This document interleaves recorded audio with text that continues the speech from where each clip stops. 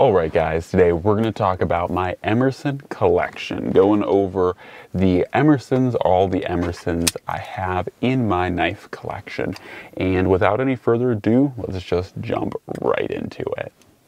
All right, so first one off that we're gonna start with is kind of in Emerson. This is technically a collaboration, so some of you might not actually call this an Emerson, but I think a lot of people, it's reasonably safe to say, would call this uh, an Emerson enough because it is, like I said, by definition, a literal Emerson design. So anyways, this is the Kershaw CQC6, and this one in particular is in D2, and this guy is overall pretty darn cool. And I really am kind of conflicted about these Kershaw and ZT knives because they are like what I want an Emerson to be. They have that more traditional flat grind with a proper bevel on both sides. They're not chisel ground, and overall, they're pretty good. About the only thing I really dislike about both the Emerson and ZT collab, or sorry, Emerson, um, Kershaw and ZT collabs with Emerson is that they're frame locks because I honestly really do like liner locks. Like I can see why this is a frame lock. Like frame locks are very popular, they're very in, they're very trendy, they're very cool, but at the same time too, I am not honestly the biggest fan of frame locks. I think they're kind of overdone. So in addition to that too, I think they're kind of sucky because for me, like this is a steel frame lock, not a titanium frame lock, which means that this guy is pretty hefty. Like uh, for the size of this knife, it is certainly heavier than most others. So anyways, that is the Emerson Kershaw collaboration CQC6 in D2.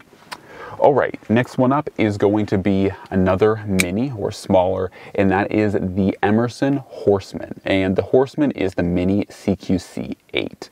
This guy is once again pretty cool. Now this is a legit um, Emerson. Now this one has seen some use and abuse, but as most good Emersons are, this guy is still good, solid lockup, nothing really wrong with it. I'd say about the only thing is the tip has kind of been rounded out by poor sharpening, but uh, yeah, only so much you can do about that. But honestly, not really that disappointed. It's a fairly older model. This one's a 2013, but yeah, just very well broken in. Overall, solid Emerson knife. So that is the Mini CQC8 or the Horseman. It's also worth noting too, this guy has a brass thumb disc up here. This is what used to be a 762 by 39, so the AK bullet, so to speak. Someone chopped off the back of that and made it into a thumb disc, which is a fairly popular thing to do with Emersons, and I'm honestly not that opposed to it. I think it's kind of cool. It's a nice touch. It's a way to make your knives a little bit more unique. And for me, I'm kind of mixed about it because I like the uniqueness, but at the same time too, the brass end of a bullet is uh, rather slick uh, for use as a thumb disc. So on all of my other Emersons, I have just a traditional thumb disc because it's super grippy. And if you put your thumb there, you are bound to grab that thumb disc. So for me, it's a little bit of a mixture, but I do like that one because it has some personality to it. All right, next one up is going to be probably one of the oldest knives in my collection.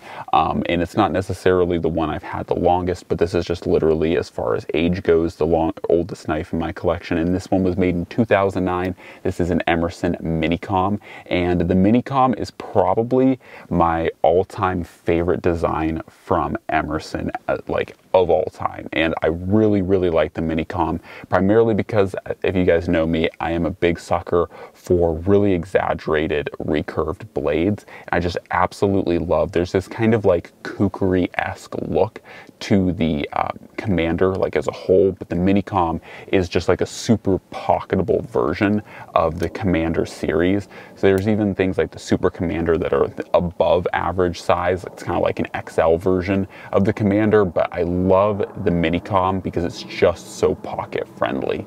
So overall, the Minicom is probably my favorite Emerson, but it is just really cool.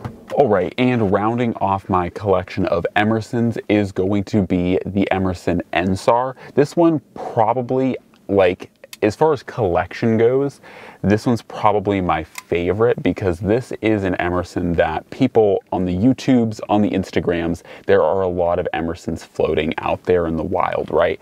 And a lot of people have so many different limited edition, kind of special, unobtainable models. And this is kind of my version of that because the NSAR, while albeit not really like super, super, you know, unfindable. Like you can find these guys, you can track them down, but because they're so mission specific, like they are a genuine rescue knife, they are a knife that a lot of people don't own. So a lot of people will tell me, you know, like, oh, I have this rare Emerson or that, you know, rare Emerson. And I'm like, well, and I'm just like, well, I have the NSAR. And so this is kind of my answer to the rare or unobtainable Emerson debate. And so once again, this is the NSAR, which stands for Navy Search and Rescue. This is a um, kind of modified design off of Emerson's original SARK or SARK or search and rescue knife. Now, both the SARK and the NSAR were designed originally for Navy um, divers to be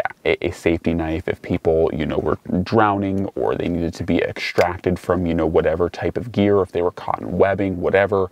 Um, the NSAR and the SARK were designed to help get people out of a bind. So that is why this one has a predominant strap cutter, seatbelt cutter, webbing cutter. You can just stick that right into things and it will slice. I really do love how sharp this webbing cutter is too, or strap cutter, whatever you'd like to call it.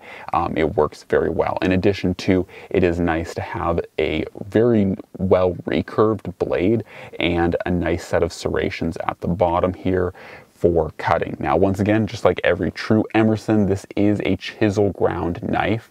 So take that for what it is, but it is still very sharp where it's supposed to be. Obviously, this does have a blunt tip, so you're not gonna cut yourself at all on this tip.